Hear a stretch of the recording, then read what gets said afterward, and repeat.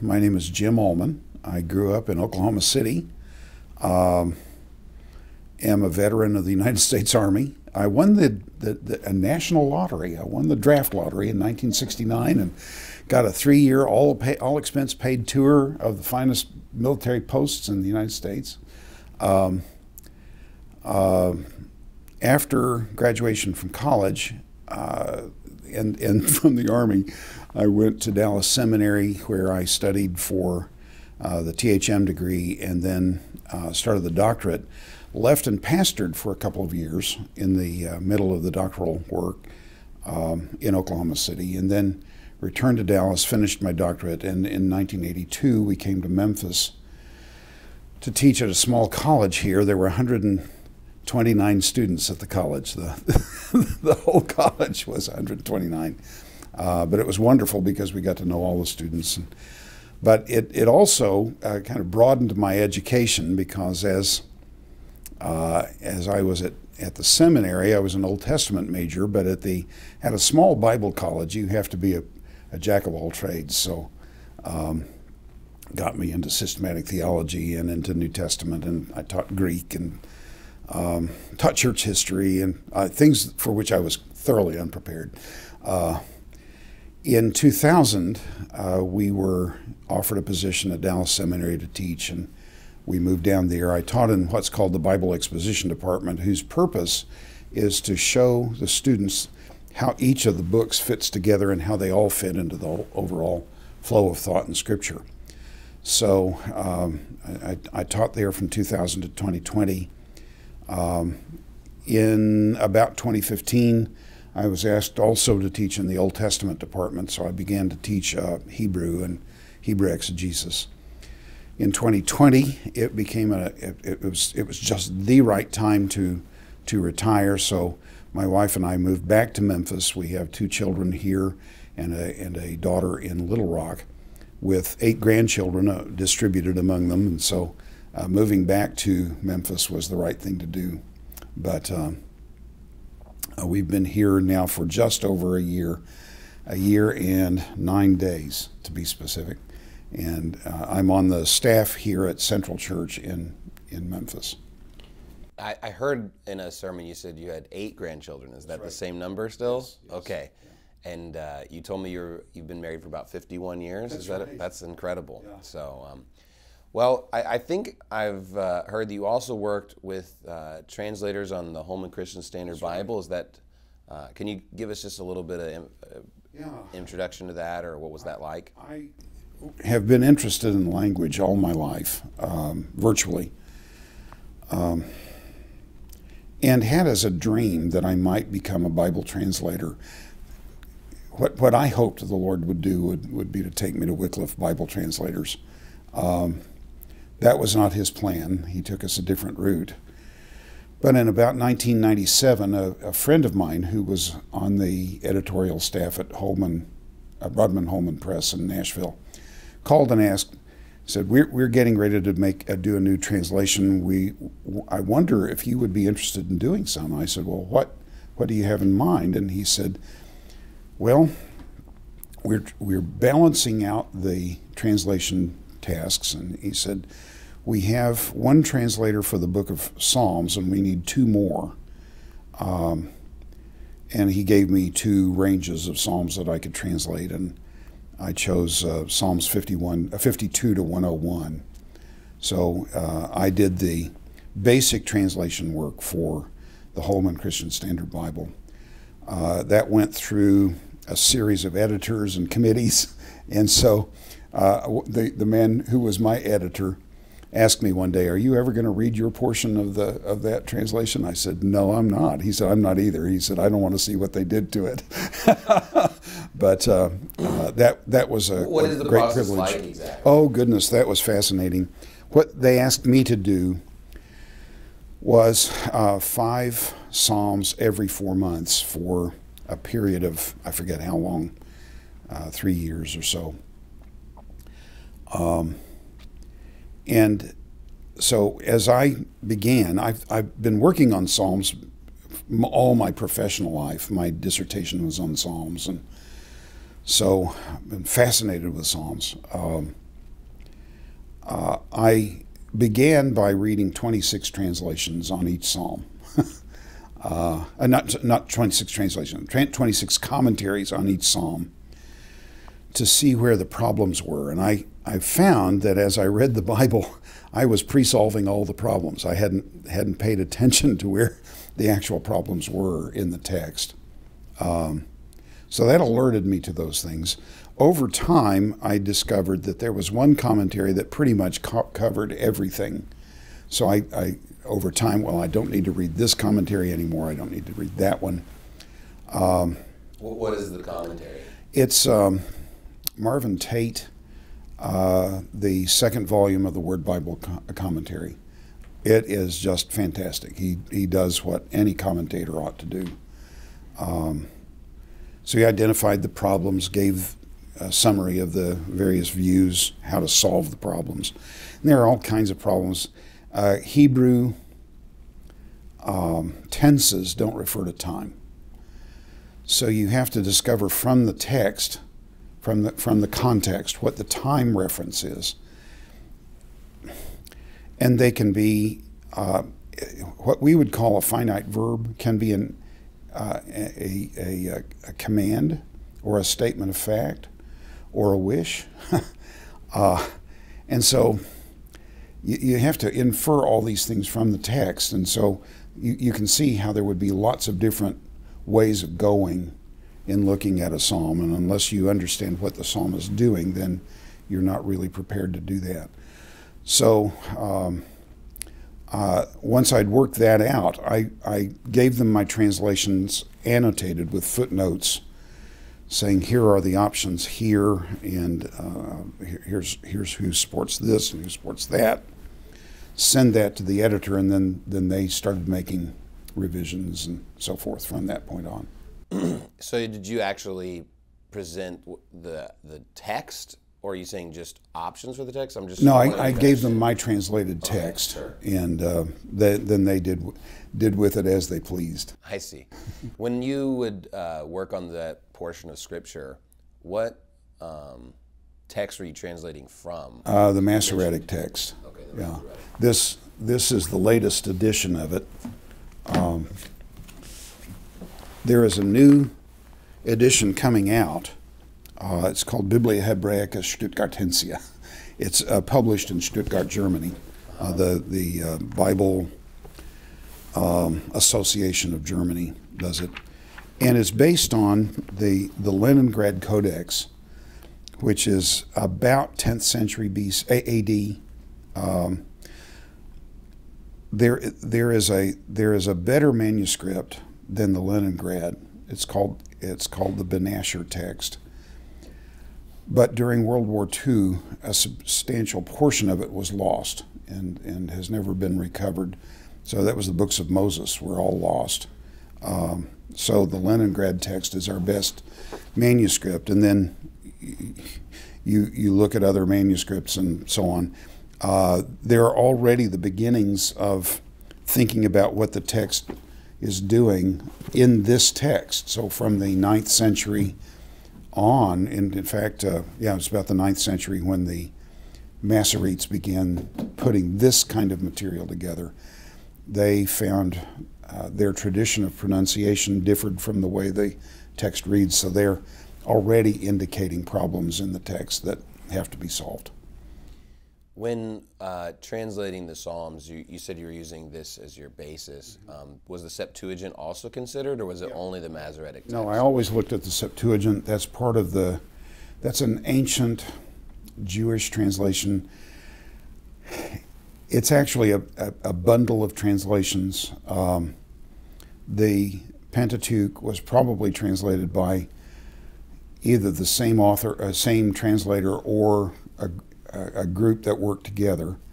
But the rest of the books are an amalgam of different things. So in Samuel and Kings, you actually have two different sources of for the text, and and uh, so the, the, the Septuagint is just a is a mess, but um, every translation does a little bit of commentary Uh, so you get an idea of what Jews in the first and second centuries BC were thinking about, and even some portions of it go back to the third century BC. So you get an idea of what, number one, what they were thinking about the text. Number two, how they would represent the Hebrew in Greek. Number three, um, what the Hebrew was that was behind this, uh, the, the, Septuagint.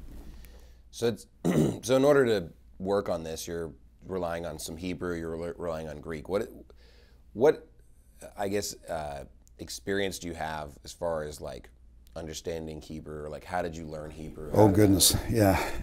Um, in uh, the summer of 1974, uh, I took beginning Hebrew two semesters uh, with the man who was probably um, at that time probably the finest Hebrew teacher. If, if you wanted to be, begin studying Hebrew, he was the finest at the seminary. You, you couldn't do better. His name was Alan Ross. Uh, I think he's at Beeson uh, Seminary in, is that in Alabama or Georgia? I can't remember now. Uh, but uh, uh, I, I've, I've loved language. I'm, a, I'm a language nerd. I had eight years of Latin, eight years of Greek, and seven years of Hebrew, uh, and then a smattering of other languages along the way. But um, uh, I had I went to Dallas to major in Greek and in New Testament, but then when I got into Hebrew, I fell in love with it so much that I thought, now number one, if I'm going to have a strength, I grew up in church. You know about attendance pins? Yeah. Yeah. Okay. I probably, when I was three months old, would have had a, a year attendance pin. so, so uh, I grew up in church, and I thought if I'm going to have a strength, it's going to be in New Testament, not an Old. So I need to work on my my weakness rather than my strength. So I went to Hebrew. Uh, loved it. Loved every minute of it. Now, when it comes to the Holman Christian Standard Bible, uh, you, you, you mentioned the idea that there's problems, you know, with some of the the texts or that you're reading commentaries. Yeah, you got interpretational problems. Yeah. Problems. How would you differentiate the Holman Christian Standard Bible from other English versions that are out there? It's comparable to most of the modern translations. Um, the uh, um, I, I, don't know how to how to characterize it. How about how about the the underlying source document? Okay. So like when we talk about you use this yes. particular um, Masoretic Hebrew and you've used the Septuagint, yeah. what would you say from a process perspective? Is is everybody kind of using the same? Everybody since William Tyndale and uh, and uh, Wycliffe have been using this text. If they're working on the Old Testament, they're working with this. And when it comes to the Masoretic text um, for Hebrew, would you say that um, it's possible for us to reconstruct the Hebrew text from extant manuscripts, or, or would you say we kind of just take it by faith? No, there are there are manuscripts available. Uh, the the interesting thing is, and, and this is a unique e- example, when the when the Dead Sea Scrolls were discovered. Um, one of them was the, the massive Isaiah scroll. And if you go to Israel today, you go to the, I think it's at the Israeli Museum. Um, uh, there is the Shrine of the Book. And they have a, a uh, facsimile of the Isaiah scroll on a massive cylinder all the way around, so a circular room. You can walk around, you can read. If you, if you know the script of ancient Hebrew, you can read it. And it is essentially the same as this text has for Isaiah after uh, and the the Isaiah scroll I think dates to the second century BC. Um, it's essentially same as this text. That's based on a text from the from the 10th century. So 1200 years, it's essentially the same. What is different is the way they represent vowels. Uh, Hebrew has no vowels in it. Ancient Hebrew has no vowels. So as time progressed, they started representing vowels, re- repurposing consonants in their in their alphabet, as we have done with Y. Y is both a, a, a, a vowel and a consonant, uh, and and so they're indicating uh, different. Uh, in some places, they're indicating the vowels that should be there. So. Um, so that's already present in the in the uh, Great Isaiah scroll. So when you're uh, using the ancient Hebrew, uh, you kind of talked about the vowels. Are you using the uh, vowel markings that were uh, present, or are you are the vowels somewhat uh, open to interpretation? No, the vowels are pretty clear. the Masoretes, the, the Masoretic text. the word Masorah in Hebrew means um, a hedge they, if you look at this, this has um, uh, writing. Here's the text, but in the in the in the in the margins there are there are indications of notes and things. The, this very small print here.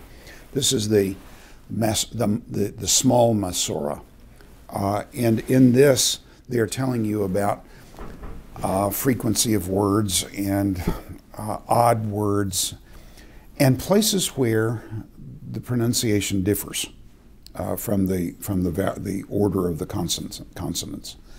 So, um, but in the text itself, with the letters, there are all kinds of little marks. They're called vowel points, and they are very very helpful. Um, I can read some passages without the vowel points now, but most of the of the book I'd have to have the vowel points to read. So, so there's a, a sophisticated system of vowels in the text as it's now given to us. Since you mentioned the Dead Sea Scrolls, um, and, and you kind of mentioned the project in Germany where they're updating potentially the, the Masoretic text. Let's say, for example, someone found um, a more ancient or an older uh, manuscript of Hebrew that was different than what, what we have in this Masoretic. Would you give? Uh, my, my question would be like, do you would you give credence to that as to maybe we should update the text, or would you say we should stick with what we've already been given? Um, our problem is we don't have a, good handle on all the manuscripts and what's there. Uh, our New Testament manu- uh, uh, uh, Greek text is much better at this kind of issue than the Hebrew text is. The next one, um, Biblia Hebraica, Hebrew Bible, Quinta, number five, uh, is coming out, and each of the fascicles is like ninety dollars, so I'm not buying them. But but uh, um, that's going to be fuller, but it's it's still not going to be full enough. Um, even in our text as we have it, there are places where different manuscripts vary. The very few manuscripts that we do have, they vary, and so we have to ask the question well, which one is more likely to be original? And, and so you do have to make that decision. Right. So, but if we did find more yeah. information, you would use that to potentially. Yeah, we'd we'd have to we'd have to see what it would do. Uh, what is the how good is the manuscript? How well is it written? Um, uh, how careful were the scribes that put it together? And, and then look at the text and say, well, here, here's an odd reading. Does this solve a problem for us? Um, and so uh, I'd be willing to say, as, as here, this, this section at the bottom of the is, is the text critical apparatus for each page. And it's actually bringing in evidence from Qumran for our text. And so uh, Qumran preserves some earlier readings that this 10th century manuscript didn't have. One interesting one uh, is uh, in, in Deuteronomy 32. Um, there's a, if, if you were reading in Hebrews chapter 1, you have the line, let all the angels of God praise him. Uh, and your, your Bible may have a cross reference to Deuteronomy 32. You won't find it in your Bible. It's not in the Masoretic text, but it is in the Qumran scroll of Deuteronomy. So we're able to restore some things that that the New Testament treated as Old Testament quotations, but we can't identify them. So so we're able to to correct that in that regard. So if we found more ancient evidence, would that be added in, in your opinion? Okay. Yeah. It probably it wouldn't change much, but it would change some. What about when it comes to just in general the idea of, of God's word being preserved? You know, and, and most churches would say we believe the word of God is perfect and errant and, um, you know, is delivered to man through the inspiration of the Holy Ghost. Um, wh- what is your general idea of as far as the word of God being preserved? What do you believe about that? It's it's an interesting idea. Um, I believe that God did preserve His word.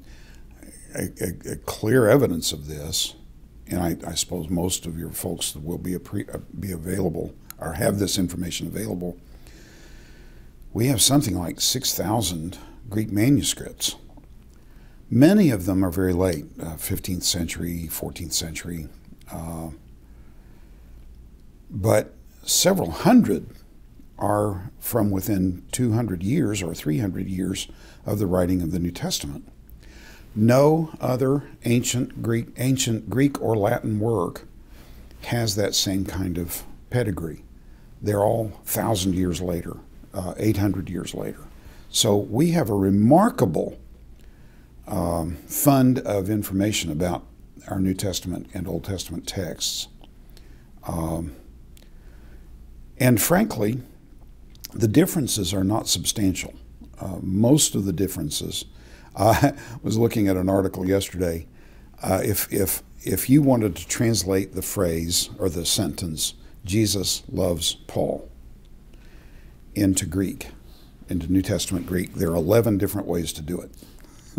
so are those 11 differences in the text, or are they simply saying the same thing? You see what I'm saying? Sure. So uh, that's incomprehensible to us in English, but you can have the definite article with proper names, and you can have them in different orders and so on. Uh, so, 11 different ways of saying that. Um, so, are those 11 differences in the text, or are they just saying the same thing and they're not really differences? They're just word order. That's most of what we have. I was looking at. Um, the uh, what, what is that here? Um, oy vey.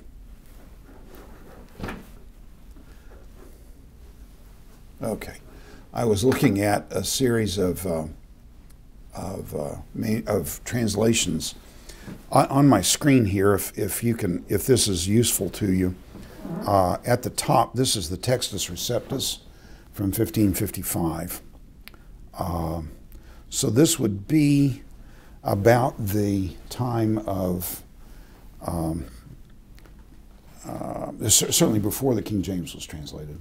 It's the time when Luther was, it's after actually Luther was translating his text, but um, here's the Scrivener of 1881, basically the same text. The difference between these two is that this one does not have breathing marks at the beginnings. Uh, every vowel that begins a word in Greek has to have a breathing mark, either smooth or rough breathing. And then every word has some accent. The the 1555 text doesn't indicate, indicate accents or breathing marks. The 1881 does. Okay? Uh, so far, so good? Yeah? Uh, this is the majority text that was published by another one of our prof, uh, professors, uh, Zane Hodges, um, which is fundamentally uh, similar to Scrivener. And then this is the one that I have here. This is the Nestle Aland text 20 edition 28. And this this tool that I have on the screen indicates differences between the, the different verses.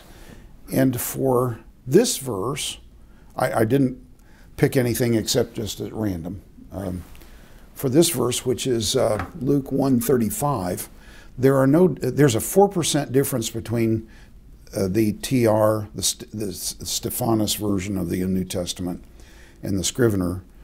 There is no difference between the majority text and the NA 28. Uh, and as you go down the text, here is one. Here's one that's kind of interesting. Verse 36. And behold, Elizabeth, your kinswoman, uh, she herself has conceived a son uh, in her old age. And this one is, she is in the sixth month for her who was called barren. Uh, so this is, uh, you have the same translation, uh, even with the differences.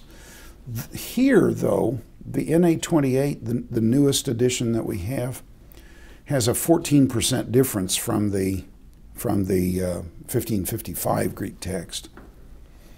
But the only fundamental differences are spelling of the word kinswoman, and the word conceived is a participle here, and it's a it's a finite verb there. Uh, so most of the differences are like that. And as I was looking through this, in fact, I started reading a majority text New Testament um, several years ago. I, I read through the New Testament not yearly, but nearly every year in Greek. And um, uh, I was looking for differences, and I couldn't see them.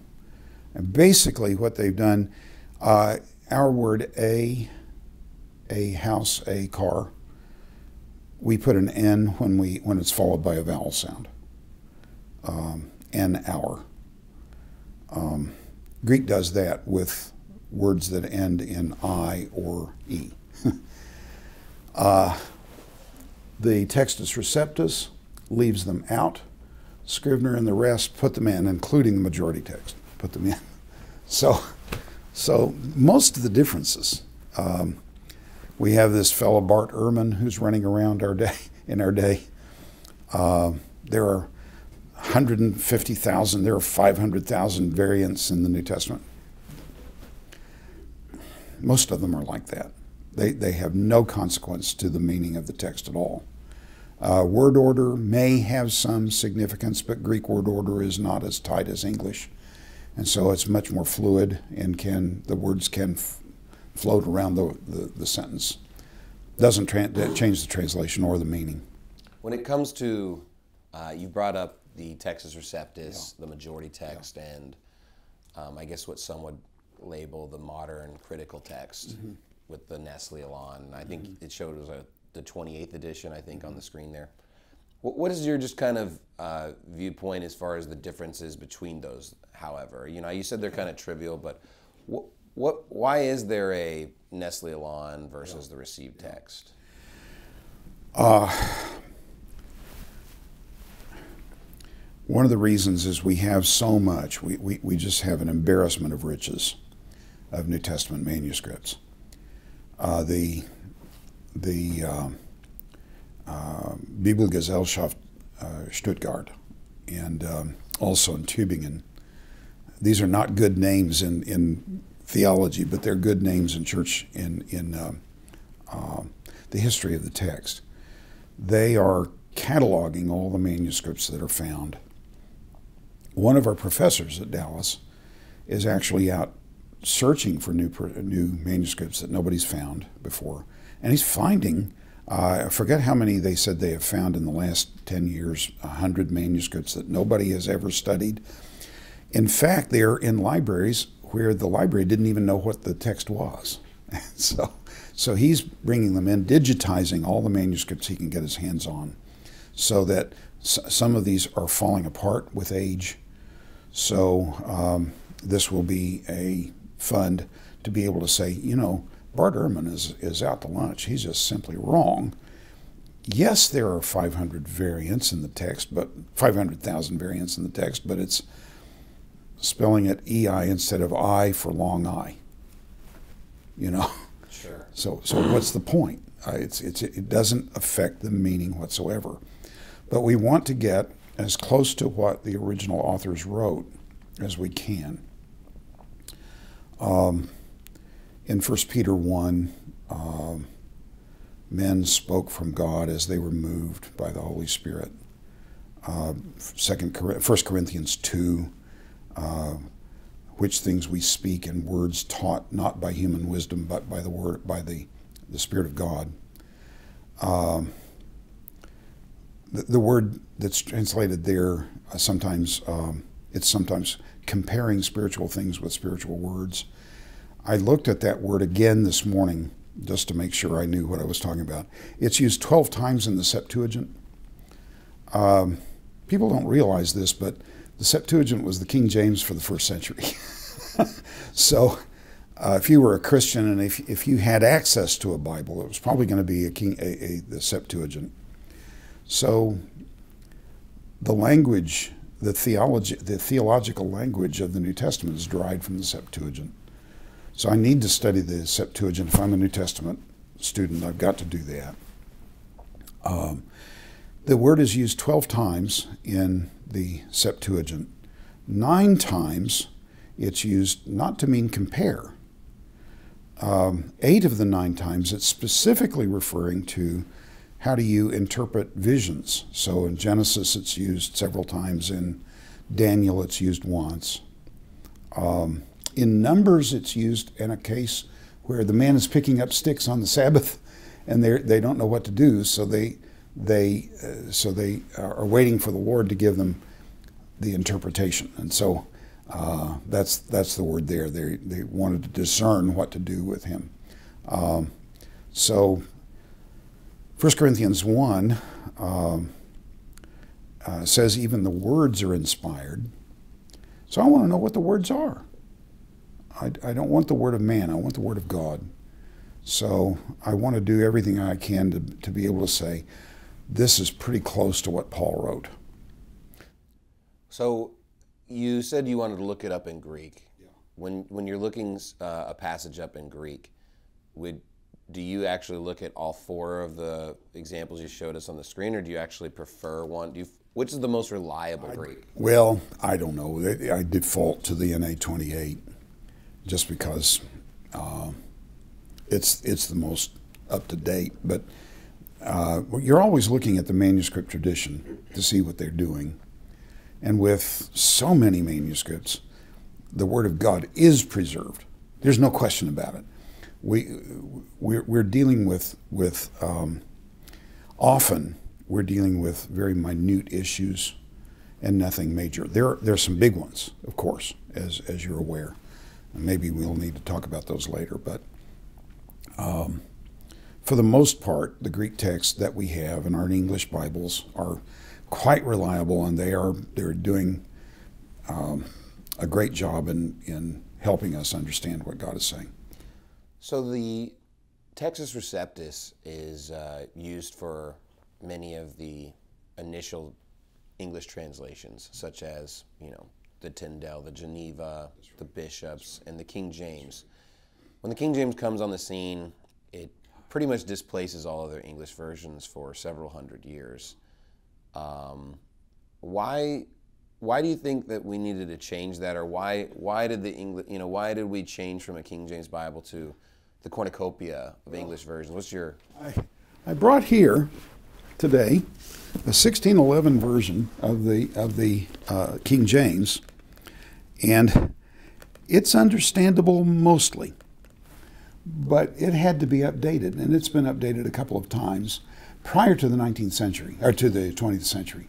Um, when you say updated, what do you mean by that? Words don't mean today what they meant 500 years ago. Um, if I were to call your wife a nice hussy in, in 1611, she would slap me because I called her nice, because hussy was actually a compliment. it meant housewife and a good one. Nice meant simple minded. so if, if, if I have language 500 years old, I may not understand what's going on. Um, a verse that I learned, as many of us did, in second in First Thessalonians uh, we who are alive and remain shall, to the coming of the Lord shall not prevent those who, who are, have fallen asleep. Well, prevent doesn't mean what it meant in 1611.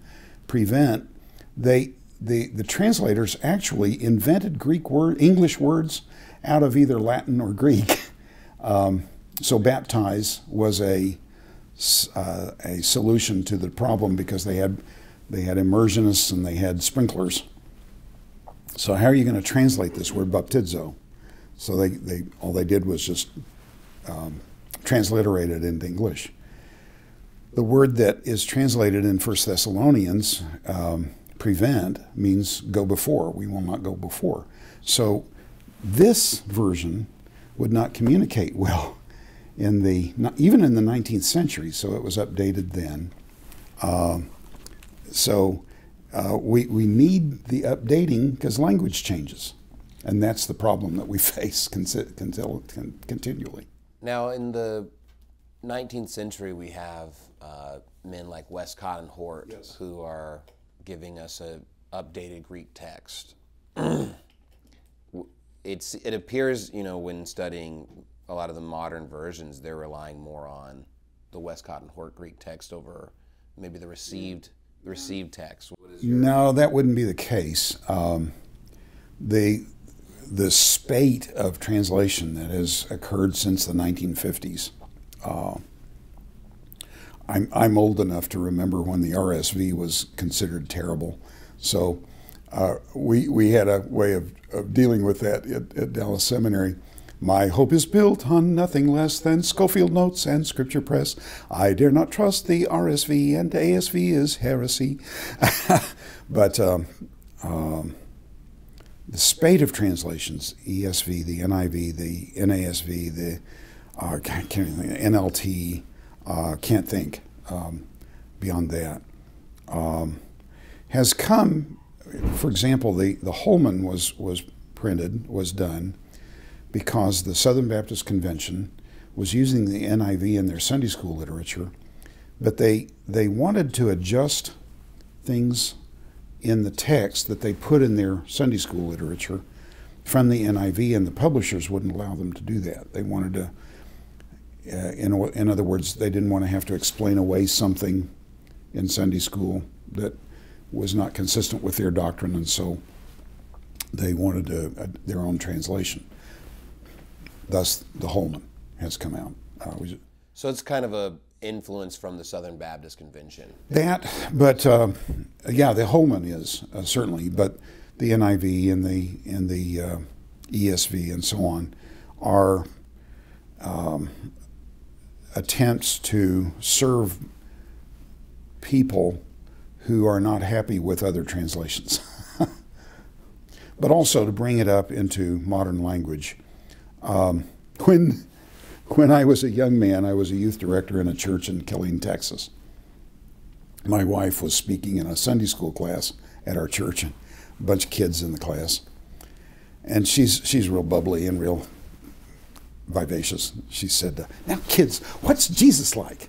This was our first experience in an ethnically diverse setting. So we had Korean kids, and we had um, uh, uh, Anglo kids, and we had Hispanics, and we had African Americans. It, it, was it was marvelous. Of my first experience with that.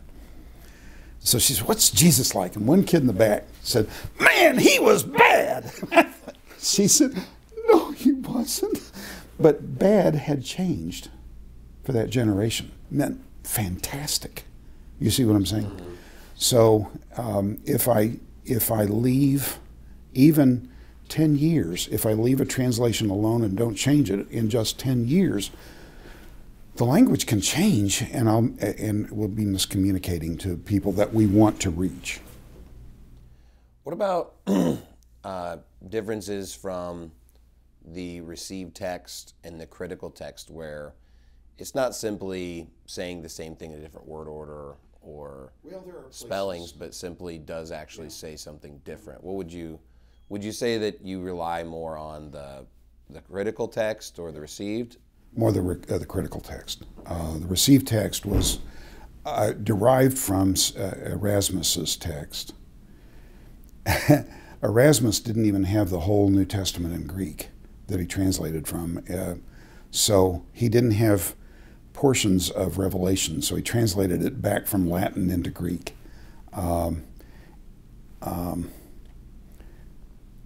the and and um, I, I have been reading a, a, a, biography of of um, uh, Tyndale uh, recently, and he he talked about one of the translations that was made from uh,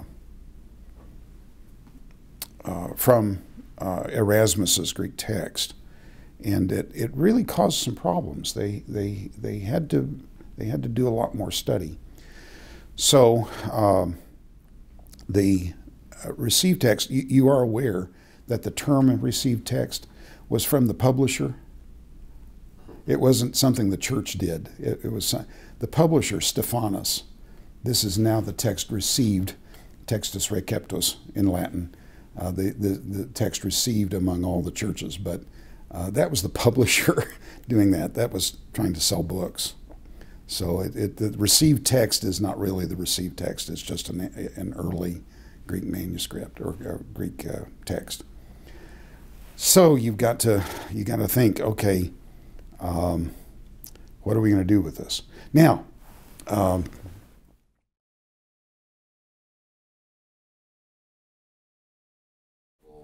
because we ha- we're using much more information. Uh, we're getting manuscript evidence and there are places where when, when you come up with different variants in the in the manuscripts, the question always is, what are number one, what is what are scribes likely to do? And number two, which of the variants can explain the rest? If I can explain the rest based on one, that's got to be the original one. Um, Scribes are much more likely to add to the text, not to detract from it. Um, scribes are likely to uh, write, especially a, a, tired scribe is going to sometimes change a text because of memory. He's not paying attention to his manuscript carefully. Uh, so you get differences in the text.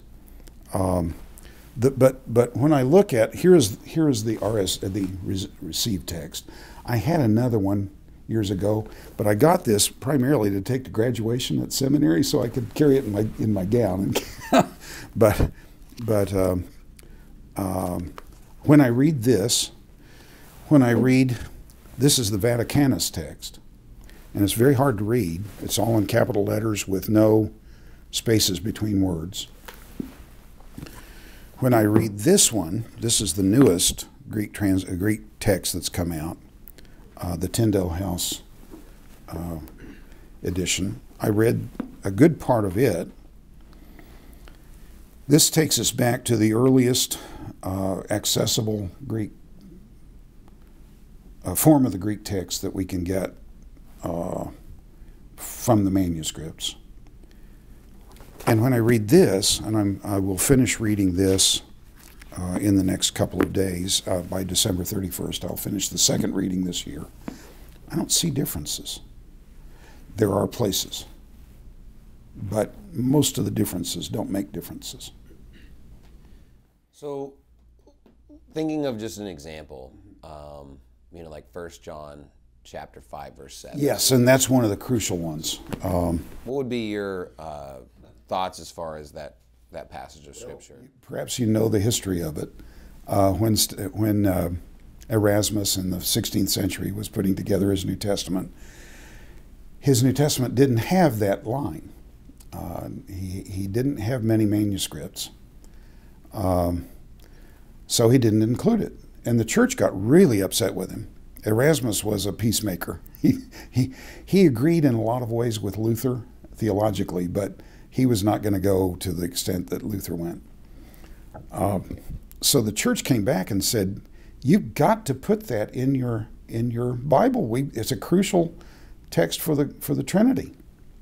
He said, "If you can show me one Greek manuscript that has it, I'll do it in my next edition." Well, if you look in my in my text here, this this one, this is the critical text. Uh, let's turn to that. Um, it, it's it's an odd thing that goes on here. Um, chapter five, I don't remember the verse. I remember chapters. I don't remember verses well. Um, Uh, it's in verse uh, 7. When I look at the text down here, uh, I read, In terra spiritus et aqua et sanguis. Um, and then a lot of lot of differences. At, tres sunt qui testimonium dicunt in caelo. There are three who give testimony, in, who speak testimony in heaven, pater, verbum, or filius, in some manuscripts, et spiritus. And of course, this is Latin. But when I look at the Greek manuscripts, um, the, most of the most of the evidence is in the margin, not in the text itself. There's one or two that have it in the text itself. So that's not even a majority text. See that that that's simply not even original.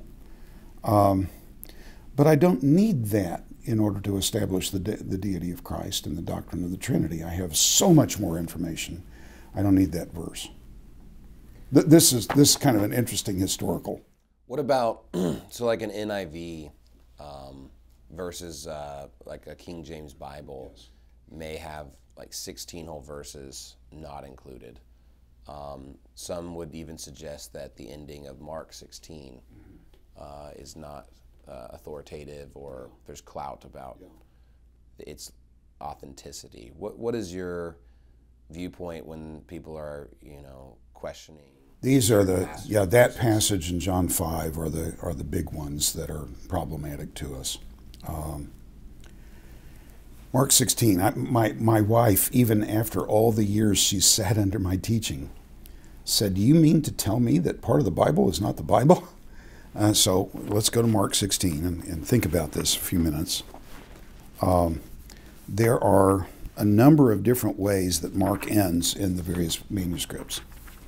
Um, my text has, after verse 8, um, uh, all things that were commanded to them by uh, uh who are around Peter, uh, they announced uh, um, carefully after these things, Jesus himself, from the east to the west, sent them out, uh, sent, sent out through them the holy and incorruptible proclamation of eternal salvation. Amen. That's, that's right after verse 8 in, in this text. Following that is verse 9, arising on the first day. And so you have verses 9 to 16. Um, this is the big one that everybody wonders about. Um, so, so let's uh, apply our two questions. Uh, what are scribes likely to do? Are they likely to omit, or are they likely to include uh, stuff that is not in their manuscript? Much more likely to add than they are to subtract. The scribes, I, I was listening to a lecture some while ago by a, a major New Testament scholar and he said, uh, even the papyri, and I, I, have one here. This is P46. Uh, uh, this is um, uh, a manuscript on papyrus. This is just a picture of it. I, I nobody would allow me to buy that page, but, but um, uh, he said uh, this was discovered in Egypt. Um, it includes Hebrews 9, 10 to 16. It's very carefully written, very skillfully written. Um, the scribes were very careful, but there were lapses that people have. Everybody has, has experienced in copying things out of a book. Uh, by the way, that, that manuscript is about the size of this notebook. It's about six by 10 inches and 86 pages. This one has about 100 in it. That that looks like kind of just a fragment, right? Like that's not necessarily like a whole book. No, this is a page from that book. But, okay. But the book has 86 pages in it. Okay. And it, it includes a great part of Romans. All of, of Hebrews comes right after Romans, which is interesting. And First Corinthians, all of First Corinthians is there. So it, it has a substantial part of the Pauline epistles. Now, when it comes to uh, Greek, obviously there's a lot of contention as far as some of the manuscript evidence or what's existent. What about if we think about Hebrew, going back to Hebrew for a second, um, does the Septuagint uh, have complete uh, books of, of the Old Testament? What would be some of the completed books? All of them. All of them. Yeah. Uh, the problem, though, is that our print, printed Greek New Testament, Greek Old Testament, is uh, derived from separate manuscripts. You've got to remember that in the ancient world, most books were written on scrolls. And a scroll can, I forget the, the maximum length that a scroll is useful. 40 feet's in my mind, but don't hold me to that. It might be a little longer. Um, by, by the way, this would only be 10 inches. This is a little bit larger than that. Uh, so here's the, here's the notebook. It's pretty close, but that's about right. Um, um, this was on a, a codex. This is a codex. Christians used the codex for their manuscripts, but the Septuagint's a Jewish work, and so they were writing on scrolls. So when you have scrolls, by and large, you're not going to have um, uh, 39 books in one scroll. You can't. It, it, couldn't be read. You couldn't write it. Um, so you're going to have multiple scrolls, and scrolls go, get old. They get torn, and so somebody uh, uh, uh, finds another scroll and patches them together.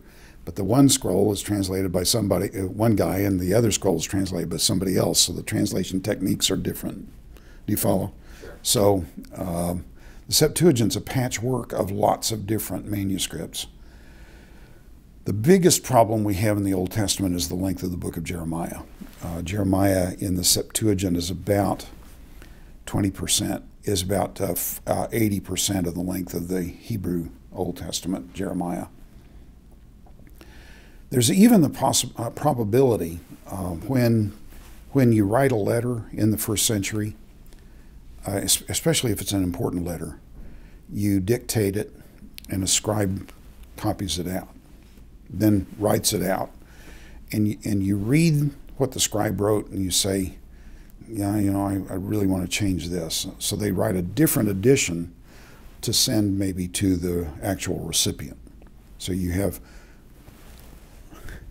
two originals which are not identical, but with only minor changes. Does that make sense to you? Mm-hmm. So you've got all these problems at work. That means we've got some work to do to make sure that we have the, the wording that we can get as close as we can to the authors of the New Testament. Would you say that the Septuagint can correct the Masoretic Hebrew in places? It can. Uh, as I read the Septuagint, I, I, read through the Septuagint a year ago. Um, first time I've ever done that. Uh, but uh, reading through it, I thought, um, I know this text well enough to know they didn't really understand it. they didn't get the Hebrew. What about the Dead Sea? At times. Sure. Yeah. The Dead Sea Scrolls, would you say that that can also potentially correct the Hebrew? It can. Um, one of the Dead Sea Scrolls actually has that line that's quoted in Hebrews 1 in Deuteronomy 32. So um, uh, there are places where we know that the Dead Sea Scrolls give us a better text than the Masoretic text does. When do we think about English and we think about the translations that exist, what would be your recommendation as far as just the most accurate oh, gosh. English version? Not, none of them, all of them, and none of them. Uh, um, a translation is a very short commentary. uh, so if I wanted to just know, you, you mentioned this earlier. You said, I want to know exactly what God said. I want right? to get as close as I can to sure. it. Yeah. If, if I want to get as close or I want to know exactly what he said, what would be the vehicle by which I would get there? You know, there are some remarkable tools out today. Um, one is you can trust your translation. You can trust it. It was the, the process goes through multiple com- committees with people. Uh, the Holman, for example, although it was it was sponsored by the Baptist Southern Baptist Convention, was actually the translators were from all kinds of different backgrounds, And the committees included people from different theological backgrounds uh, so that there is not a peculiarly Southern Baptist flavor to that book. Try to remove bias and things like that. That's right. So these these translations that are done by committee are really the way to go. That's what the King James was. It was a translation done by committee, uh, and it's wise. No one man knows enough about the Bible to translate the whole thing.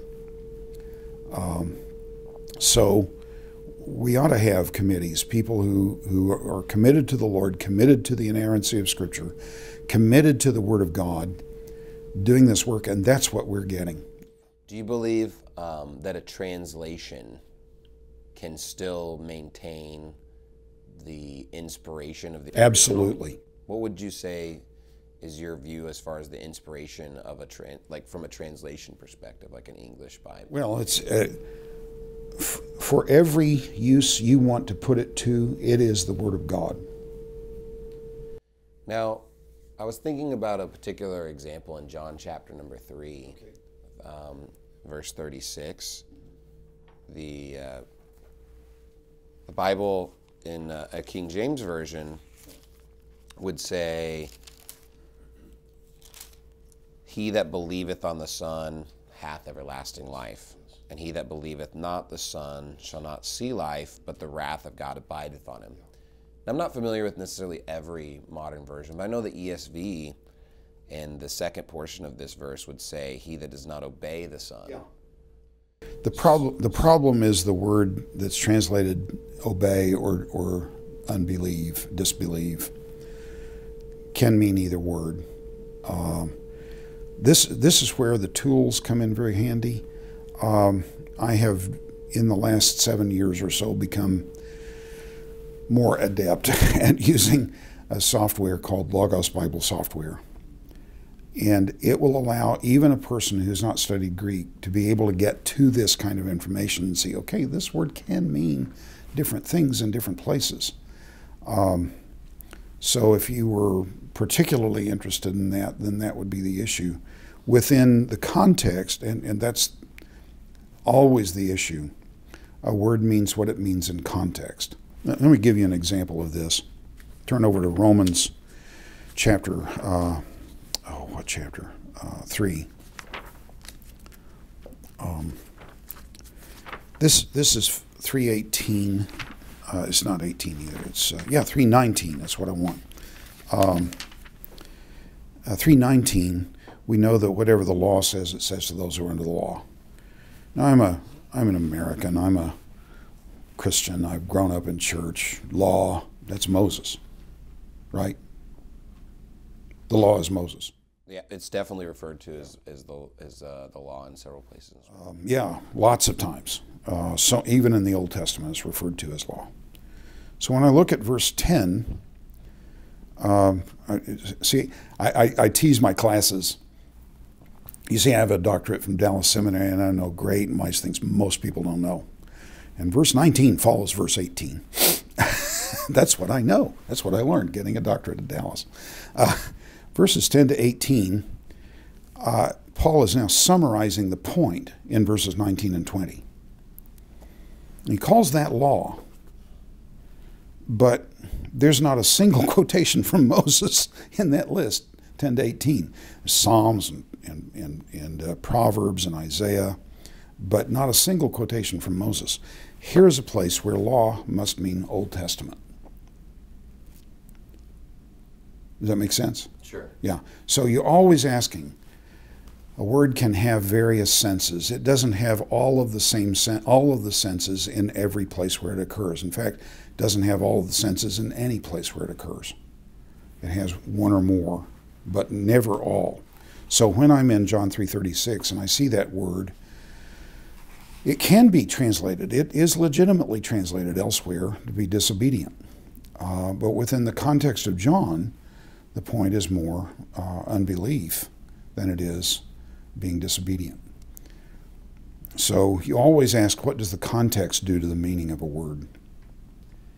Now, if I By the way, By the way, looking at various translations, you can see where the where the the interpretive problems are, and then you can go start to work. Okay, now I've got a problem here. I got to figure out what this text is really trying to say. I'm sorry to interrupt you. Fine. If I want to better understand the text, would you say I I need to understand Greek to get the the best understanding? No, uh, Greek is necessary for people who really want to be Bible teachers, uh, who who for whom that's the primary commitment of their lives.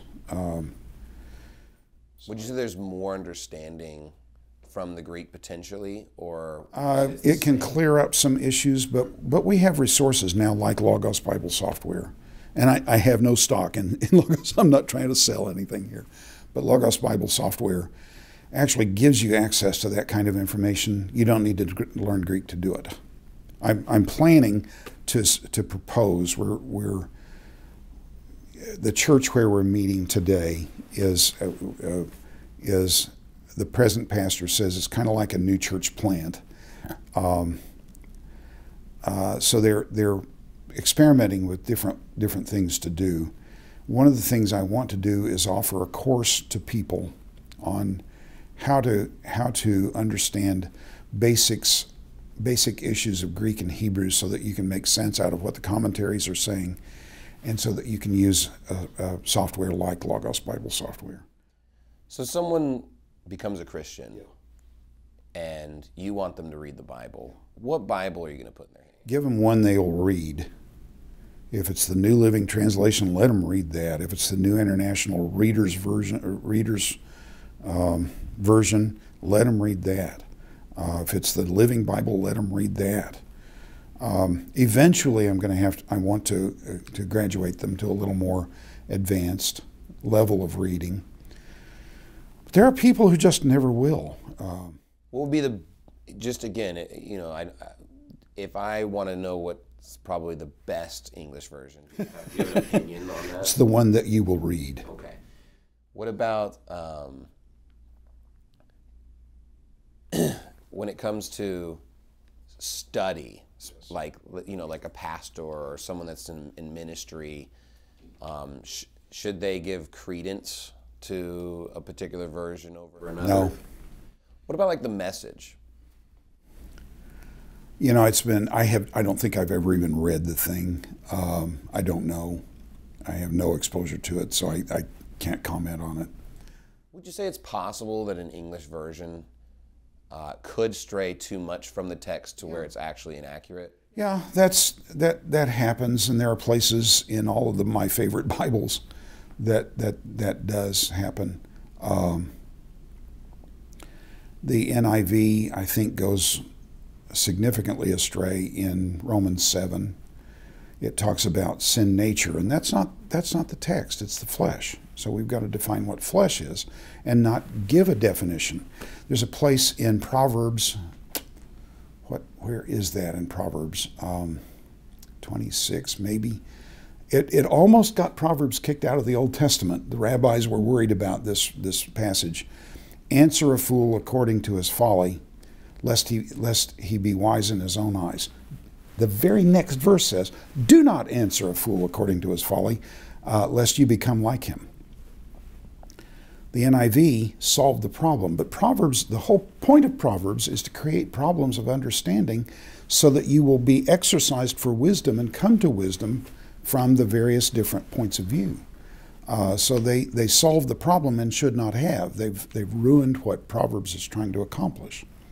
But those are isolated places. But if you're reading various translations, you'll, you'll, you'll solve that problem. Sure.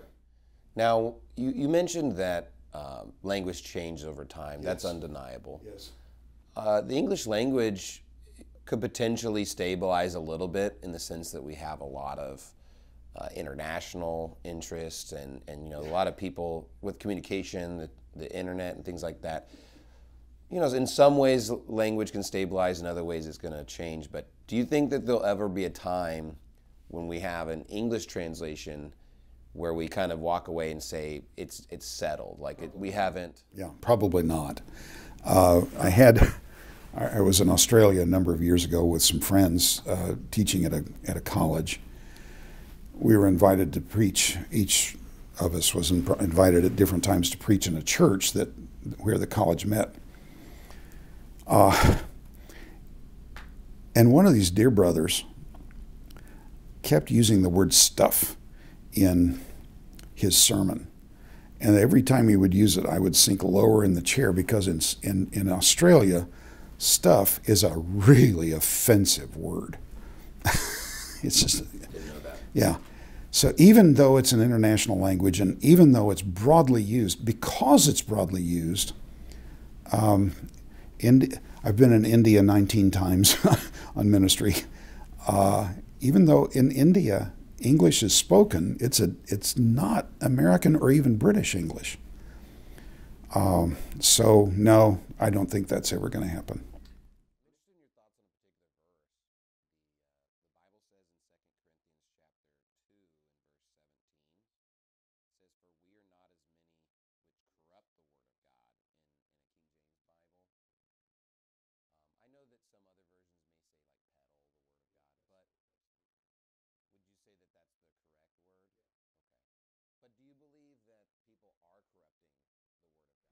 In translation work? In any capacity. Oh, well, preachers do it every Sunday. uh, Specifically in translation setting. In translation setting, the, you, you got if you knew more of the translators, you would find that their heart is really sound. They really love the Lord. Their their their goal, their heart, is not to mislead. It's it's to help people understand uh, a translation that I might work on may not communicate well to the to a community that I'm involved with. So I'll use a different translation. That's okay. I don't have any problem with that. What about like in passages in the book, at the very end of the Bible, like in Revelation, um, chapter number 22? Uh, it gives a pretty strong warning about yes. tampering with God's word.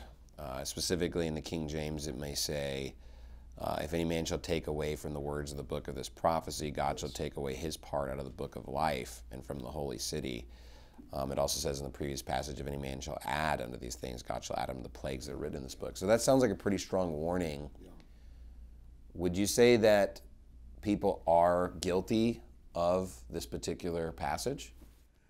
I wouldn't. I, no, I wouldn't say that because we're not trying to change the message, and that's what what this is talking about. This is actually a, a text on canonicity more than it is on the specific verbiage of, of, of the word of the book. Don't change the message. This is essential. You've got to have this message. Um, what about a work like the New World Translation, such oh, as like the Jehovah's Witnesses? They are they are clearly uh, motivated not even by Greek. They they make the Greek say what they want it to do. So that's an entirely different issue. Would you say that that is a corruption? Yeah, certainly. Yeah. Okay. Yeah, but you, you, you see, the, the, the people I'm talking about in translation committees are, are born again people. The New World Translation is not even by born again people. They deny our, our Lord. Would you know? You, you mentioned that a lot of times when they're doing translating work, they may borrow from various denominations yes, and, and, backgrounds yes, and things like that. Would you say that all of these people actually agree on doctrines like salvation? Uh, most of them, yes. Okay. Yeah. So would you say that most of them believe salvation's by faith? Okay. What about someone who doesn't believe that? Would they still be accepted to work on the committee? I, I had to sign a doctrinal statement when I did the uh, Holman, and I Dallas Seminary has a really sound doctrinal statement on these issues, and I assume that all of the others who were involved in the Holman were in that same boat.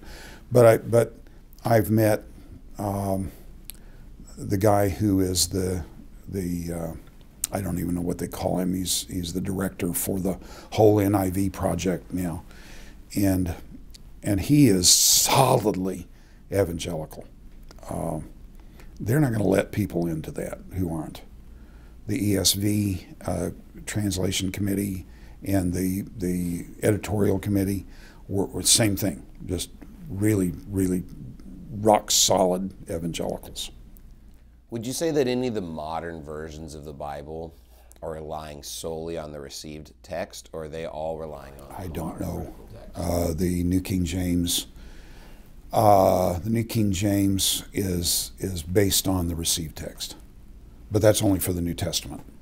What about the Old Testament? Well, it's the it's the same thing that every other translation uses the Masoretic text. What about this is an interesting question. Do you think Jesus either read from or would have used the Septuagint? Uh, he uh, in in John three when he's talking to Nicodemus, he makes a statement, um, and I'm gonna I'm gonna use the Greek word. I'm sorry to do that, but I I can't do it in English and get the sense. You must be born anothen. Um, Greek and Hebrew scholars uh, uh, and Aramaic scholars all say there is no language but Greek that will allow the misunderstanding that Nicodemus has in that text. So he must have been speaking Greek. Did he read did he read the Septuagint? I don't know. Probably he was raised with the Hebrew text. Um, but but the Hebrew of the first century uh, was not entirely intelligible to the average Aramaic speaker. So he, his the language that he learned as a baby was probably not Hebrew but Aramaic. Uh, I, am fairly confident that he spoke uh, Hebrew. He may have spoken a little Latin. He, his, he and his, his uh, earthly father probably did some work in a town just north of Nazareth, whose name now escapes me. It's just been recently ex- excavated. It was it was in in construction when Jesus was growing up. So they probably it was just a few miles north. So they probably got work up there. That would entail it was a Roman city, so that would entail probably speaking a little Latin, and probably grew up speaking Greek too. Um, so I don't know what kind of reading materials he would have had available to him in the in this in the synagogue. It would have been a Hebrew text. So when he goes into the temple and reads Isaiah, you believe that was Hebrew. Yeah. Okay. What about a particular passage, and, and this is kind of more of a stylistic question, but in Matthew 25, verse 23, uh, this is a verse that I think a lot of people probably have memorized, but it says, Well done, good and faithful servant. Um, but what's interesting, and I'm not from, uh, an expert with the Holman Christian Standard Bible. Yeah, I'm not either. I believe that it actually says, "Well done, good and faithful slave." Yeah. So, yeah. what do you think about the difference between those two from a, like a stylistic pers- perspective? The, the, the, Greek word doulos really does mean slave, and so servant is the way we've cleaned it up in English to make it palatable. Um, when Paul calls himself uh, a, a, servant of Jesus Christ. It's doulos, it's that same word. So, uh, and indeed, when Paul talks in Romans 6 about freedom, he defines it in terms of slavery. If you're, if you're, if you're enslaved to righteousness, you're freed from sin. If you're, if you're um, uh, enslaved to sin, you're free from righteousness. The only freedom is slavery.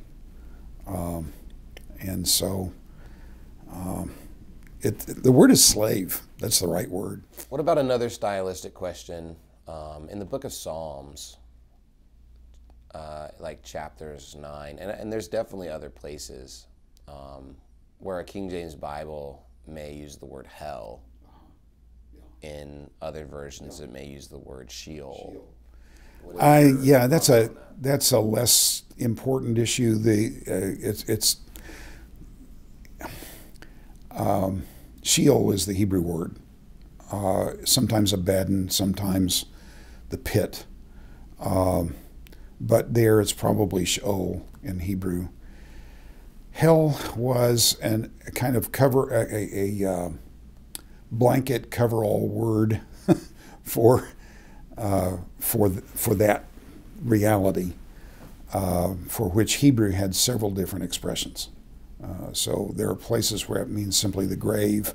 There are some. There are places where Sheol means the, the abode of the dead, where they're where they're tormented, where it's where life is hopeless. Uh, so, so in a sense, hell is is placing all of our New Testament Christian concept on that one term, where it has many different concepts in the Old Testament. What about the same word uh, as far as you know, an English version, like saying hell, like in Acts chapter two, yeah. well, verse thirty-one? Uh, it says Hades, I believe, yeah. in. In Acts. What would you say Hades is? It's, it's, would you say Hades and hell are equivalent? Roughly. Um, in Roman thought, when you die, you go to Hades. In Roman and Greek thought, uh, you die, you go to Hades. And there, in Roman and Greek thought, for the righteous, there are good places in Hades, and but but it's still a place to be avoided. Um, and for the wicked, there are really bad places in Hades. So, saying hell there is probably better than saying Hades because for a, for a Greek reader, it wouldn't have, uh, uh, uh, Hades could, could be open to some interpretation, but we're, we're giving it what we actually mean by hell in that text. What about in Acts 2.31 when it's saying that Jesus' soul is not left in hell in yeah. a King James Bible? Yeah. Um, some would argue that Jesus was not in hell or suffering or anything like yeah. that. What, what would you say as far as like a translation? I suspect their grave would be the better term. Um, uh, so it depends on the context. Everything depends on context. What about Exodus chapter 6, verse 3? And I've noticed this also throughout the Old Testament, and, and we've kind of talked about vowel markings, the name of God. Yeah. And oh gosh, yes. Exodus chapter 6, verse 3, you know, God's talking to Moses. He's saying, I was not known to them by my name, God Almighty, yes. but yes. by my name. And in a King James, it says Jehovah, yeah. whereas in the yes. uh, other versions, it may say Yahweh. The problem there is fascinating. Uh, this is back to the issue of the Masoretes. What were they doing? Um, they inherited a text that had consonants only. Um, some consonants were functioning for vowels, but in the name, the, the, the, the divine name, uh, the letters were YHWH. Most names of males in Hebrew are either nouns or verbs. And they, they typically default to verbs. Um, Yahweh is the best we can do to pronounce that word, but they didn't want to pronounce it, so they put the vowels for the let for the for the word Adonai in it.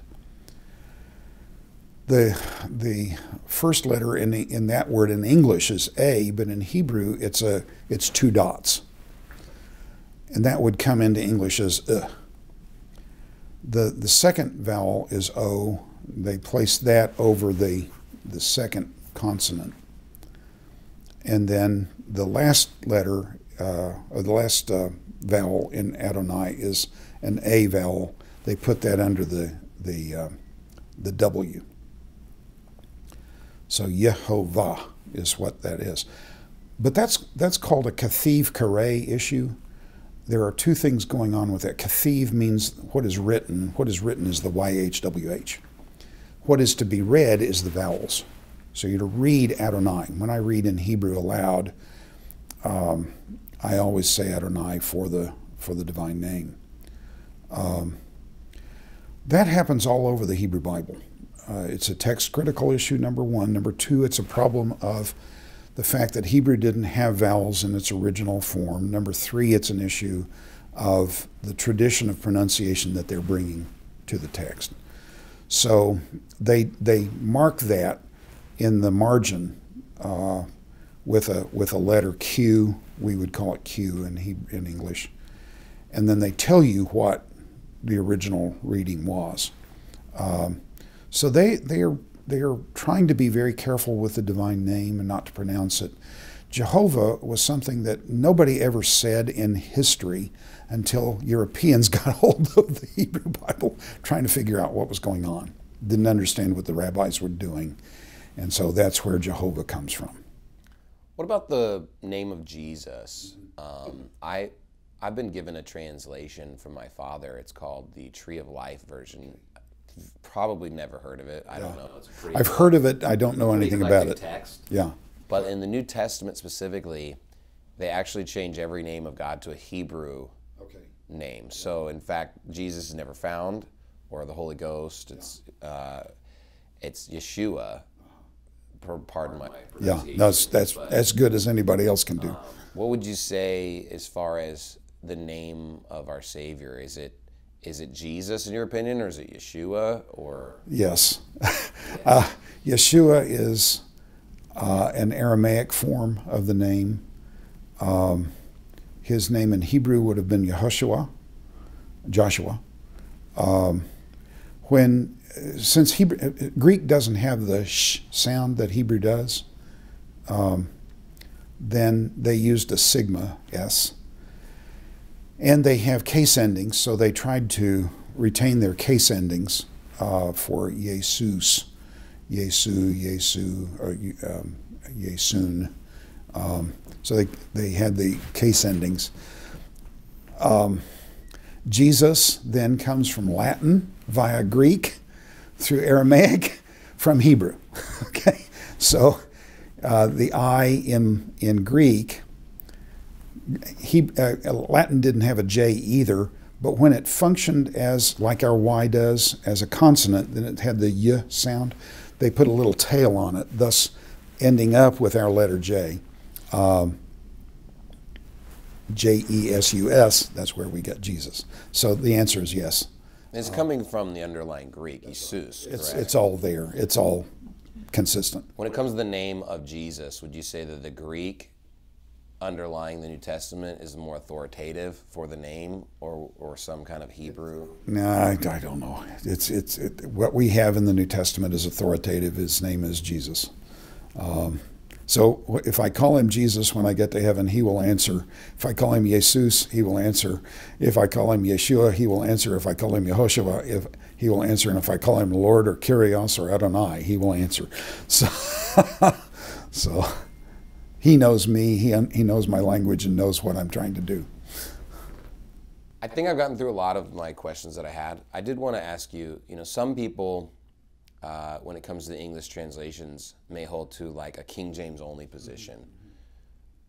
What is your opinion about someone who would say the King James Bible is superior to other English versions? It is an amazing. I, I am I am always stunned by the excellence of that translation. I, I cannot believe people in the 17th century when when Hebrew was was still our, our knowledge of Hebrew was still in its infancy. I cannot believe the towering achievement they they have brought. It is an incredible translation. I love it.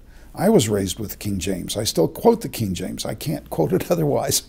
Um, but but in my reading, um, public reading, I, I, will use one of the more modern translations because almost nobody in the circles that I travel in use the King James anymore.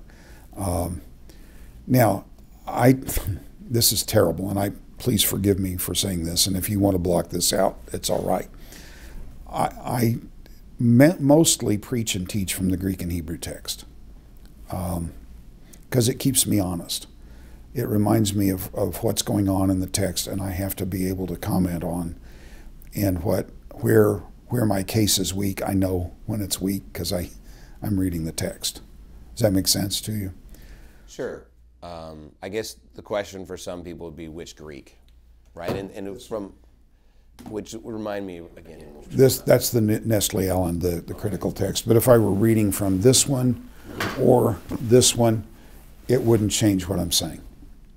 So, in your opinion, the Scrivener, I think it's, I think it was like 1884. 1881, the the TR 1555 is what we had on the screen. If there were a variation between that and the Nestle Aland, you would give more. I would look at the I would look at the manuscript evidence and make a decision. I the the Nestle Aland I disagree with at, from time to time. if there were a doctrinal dispute um, based on the variance, what would what would settle that? If there were a doctrinal dispute, then it would be a matter of each one taking one's own position and saying, okay, what are we going to do with this? Can we agree on the, the variant? If we can't, then okay, then we'll agree to disagree. I, I, I'm a Baptist by, by upbringing. So if you ask me to baptize you, I'm going to immerse you. You know, that, that, that I, I cannot do otherwise. But if you come to me and you say, I was, I was sprinkled, uh, I will say, was it as an act after you came to Christ? Yes. It's fine. I'll, I'll take that. We disagree on these things. But that doesn't mean you're not saved. You're my brother in Christ, you're my sister in Christ. I'm going to accept you. So being saved is not a part of baptism. No. What would you say someone that's seeking salvation? What is what is your position on that? What does someone have to do? Um, believe in the Lord Jesus Christ, and you will be saved. Would you say that uh, someone could lose that salvation for any reason? I would not. And, and in your opinion, is it just kind of a one-time simple faith and trust in Christ, or is it Well, like a lifestyle? Faith is never simple. It's it's a life. It's it's what you are. It's not what you do. It's what you are. You live in a relationship with the living God through the person of Jesus Christ. Let's say perhaps someone believed in the Lord Jesus Christ as a Savior, but his life's not changing. He's not really serving the Lord. He's, he's just, in fact, he doesn't do anything good. Would he still make it to heaven by that trusting in I, Jesus? I can't evaluate his soul. I can't evaluate what his faith really was.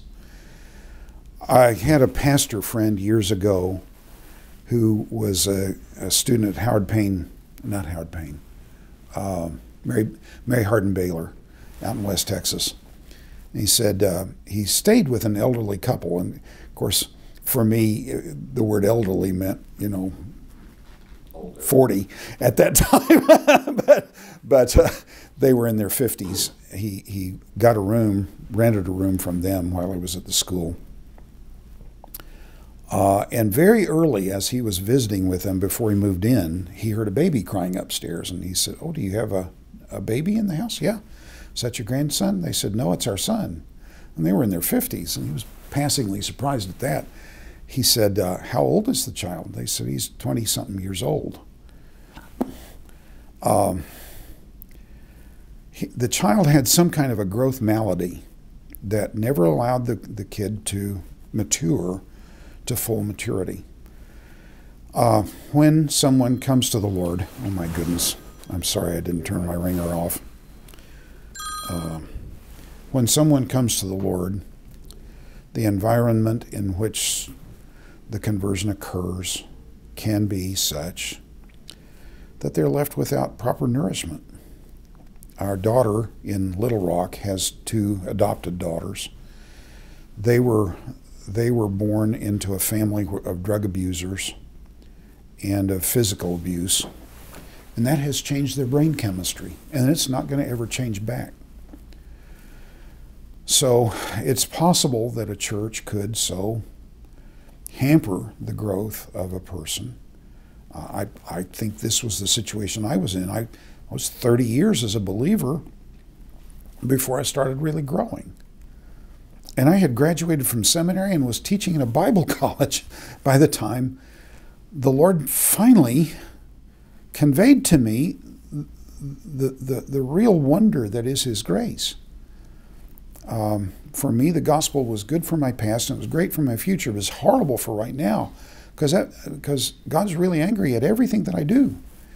And so I was just stunted in my growth for 30 years as a Christian. Um, so that fellow, I, I don't know his heart. I, I can't say what's going on. Would you say though that someone could be a, could be saved by faith without works, like in the sense they just had no works in their life, but they did have the faith alone? Um, faith, when people are are healthy spiritually, grace will produce works. But our churches are not feeding people, and when you don't feed a child, he doesn't grow. So, so I don't want to say too much, and I don't want to say too little on that. I see. Okay. When you said you grew up Baptist, is that like from a Southern Baptist Yeah. church, or Yeah. okay? My wife uh, was was raised Southern Baptist. Her father's a minister in the Southern Baptist Church. My pa- my father-in-law was a pastor as well. So, so I have a lot of knowledge about the Southern Baptist Church. What this church here is this affiliated with the Southern Baptist? no, it's it's uh, independent. Okay. It was affiliated, as I mentioned earlier, with the um, Cumberland Presbyterians till they really abandoned Scripture and they pulled out of this uh, the Cumberland Presbyterian Church. Um, we have a seminary down t- down in Toward Town uh, here from the Cumberland Presbyterians. A friend of mine went there, and he, he was a new student, and uh, walked in one day and.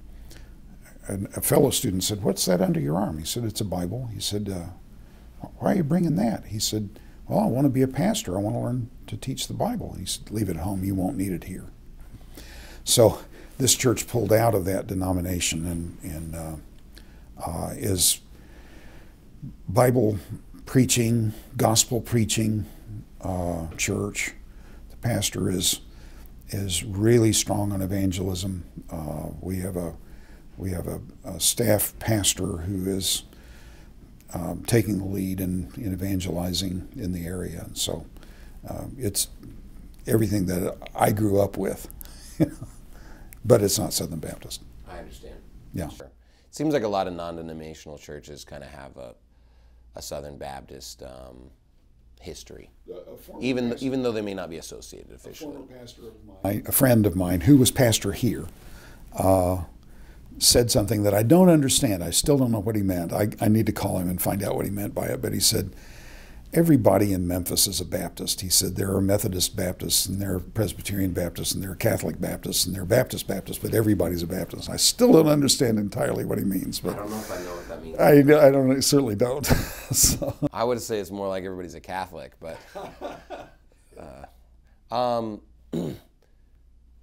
one other one other thought I want. Some people would say that if you alter uh, a particular verse, so let's say you know within within um, NIV, and and I've heard pastors like Gregg Matte, who is a, a major influencer in the Southern Baptist Convention. He's at the First Baptist Church in Houston he said that he's not going to use the NIV 2011 version anymore because they're going like gender neutral. And so, like, from his perspective, that's too corrupt or too varying from the text, right? Would you agree, or do you agree with that opinion as far as like a 2011 NIV or? I haven't been in the text to see what they're doing. Um, there are places where uh, anthropos, for example, is used. We get our word anthropology from it. And it clearly is referring to men and women. Um, the, the problem is where Paul constantly refers to brothers in his writings. Uh, and he's obviously not excluding women. Uh, brother is a very gender specific word in Greek as it is in English. And so people are saying, let's not exclude the women. You know, uh, I'm a little less comfortable with that. If you if you say people for anthropos, that's a perfectly legitimate translation of that word. Or or or person, anthropos, perfectly legitimate. Frater, fra- frater, uh, nah, uh, that's brother. So perhaps that's too far. What about someone that would say they just reject the NIV as a whole because it removes 16 verses? Well, okay. Do you have does it matter? Uh, there, there, there is a problem in Matthew six or Mark sixteen that I think disqualifies the passage, and that is, um, it appears that that Mark that that passage is summarizing events in the gospel of in the book of Acts and in uh, some of the other gospels, and one which appears to be summarizing the trip to Emmaus um, says um, that they came back to Jerusalem and told the, the people that they had seen Jesus, and they did not believe them. Luke says they did. Well, that's a contradiction between two passages. I'm going with Luke. And if that's a contradiction, then that passage, Mark 16, 9 to 20, is disqualified as, as being scripture, uh, from my point of view. Sure, and even, you know, there's a lot of variants on Mark 16, maybe like Pentecostals. Oh, they're just uh, profoundly, yeah. I, I'm not so worried about the Pentecostal issue, but, but a contradiction in Scripture I got problems with. Sure. Okay, well, I mean, I really appreciate you giving us a lot of Oh, time here and, and talking about a lot of issues. And I, I think it'd be hard to find someone that uh, has that much experience with Greek and Hebrew, especially today. Um, seems like modern scholarship relies too much on tools rather than studying things themselves. So, I, do you have any questions for us? or? I'm, I'm just thankful that you give me this, this opportunity, and I'm a little surprised. There are far more authoritative people that you could have talked to than I, but thank you for including me in this. Yeah, well, we we uh, appreciate you giving us the time and the energy so that we can accurately reflect, you know, different viewpoints and everything like that. So, thank you very much, Mr. Allman. Sure. Good to meet you both.